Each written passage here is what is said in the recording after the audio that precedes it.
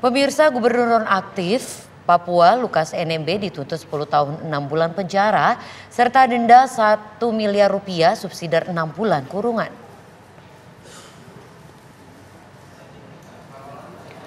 Tuntutan disampaikan atas Lukas NMB selaku terdakwa kasus dugaan suap dan penerimaan gratifikasi.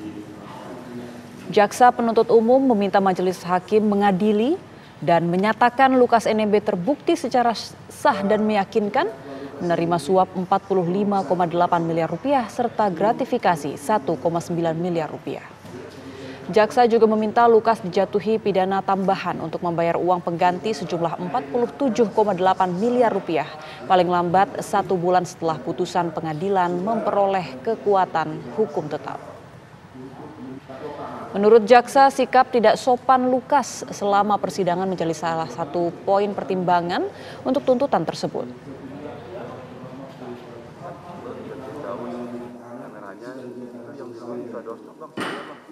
Tiga, menjatuhkan pidana terhadap terdakwa dengan pidana penjara selama 10 tahun dan 6 bulan dan pidana denda sejumlah 1 miliar rupiah subsidi pidana kurungan pengganti selama 6 bulan.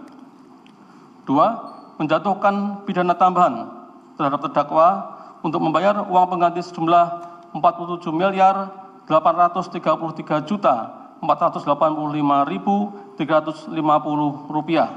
Selambat-lambatnya satu bulan setelah putusan pengadilan memperoleh kekuatan hukum tetap jika dalam jangka waktu tersebut terdakwa tidak membayar uang pengganti maka harta bendanya disita oleh jaksa dan dilelang untuk menutupi uang pengganti tersebut dalam hal terdakwa saat itu terpidana tidak mempunyai harta benda yang mencukupi untuk membayar uang pengganti, maka dipidana penjara selama tiga tahun.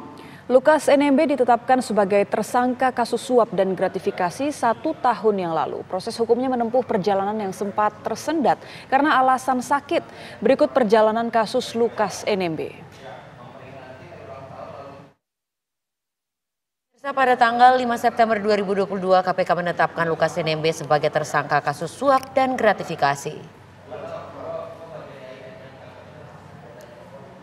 Selanjutnya pada 7 September 2022, KPK mencegah Lukas NMB untuk perjalanan ke luar negeri.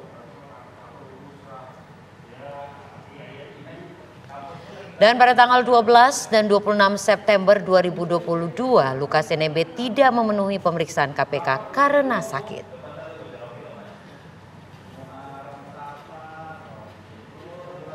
Selanjutnya pada tanggal 3 November 2022 KPK dan ID datang ke Papua untuk memeriksa Lukas NMB dan pada tanggal 10 Januari 2023 KPK menangkap Lukas NMB di sebuah rumah makan di distrik Abepura Jayapura.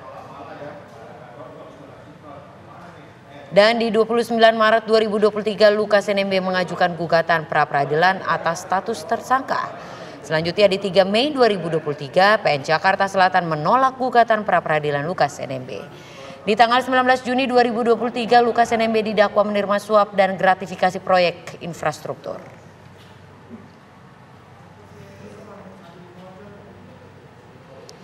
Dan Gubernur Nonaktif Papua Lukas NMB duduk di kursi pesakitan sebagai terdakwa kasus suap dan gratifikasi proyek infrastruktur senilai miliaran rupiah. Ia menjalani proses panjang sejak temuan transaksi mencurigakan, penetapan tersangka hingga proses penangkapan dan persidangan yang syarat drama.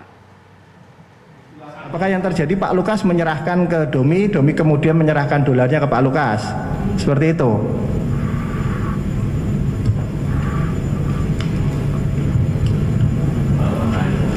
Eh, bisa bisa break sebentar Pak. Sepertinya Pak Lukas sudah tidak kuat lagi Pak. Bisa break sebentar Pak. Saya ingatkan lagi bisa bahwa tidak uh, perlu gitu. Bisa break sebentar Pak. Saya Karena dia punya hak ingkar. Saya dia punya hak ingkar. Pak. Bisa break sebentar Pak. Interupsi yang melihat bisa di break. Sebentar, sebentar. di skor sudah sebentar ya. Kasih ini dulu apa? Uh, tenangkan aja dulu. Emosi Lukas NMB meledak di tengah sidang pengadilan tindak pidana korupsi Senin 4 September lalu. Lukas membanting mikrofon. Saat itu ia sedang dicecar pertanyaan oleh jaksa penuntut umum KPK seputar penukaran uang dengan saksi dari pihak swasta, Domi Yamamoto. Suasana sidang pun riuh dan hakim memutuskan sidang ditunda sementara. Lukas NMB dibawa ke belakang ruang sidang untuk diperiksa tekanan darahnya.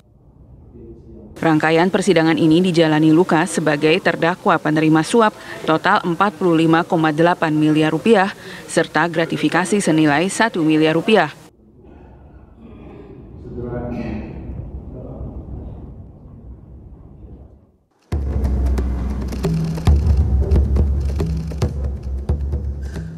Kasus yang menjerat Lukas NMB berawal dari temuan Pusat Pelaporan dan Analisis Transaksi Keuangan (PPATK) tentang dugaan pengelolaan uang tak wajar pada tahun 2017. Transaksi yang ditemukan PPATK bernilai total miliaran rupiah berupa setoran uang tunai ke kasino Singapura hingga pembelian tunai jam tangan mewah. September tahun lalu, KPK menetapkan Lukas NMB sebagai tersangka suap dan gratifikasi proyek infrastruktur yang bersumber dari APBD Pemprov Papua. Namun penangkapan dan pemeriksaannya baru bisa dimulai Januari lalu. Ia sempat beberapa kali mangkir dari pemeriksaan KPK dengan alasan sakit. KPK pun akhirnya menjemputnya paksa di sebuah rumah makan di Jayapura, Papua. Tim TV One mengabarkan.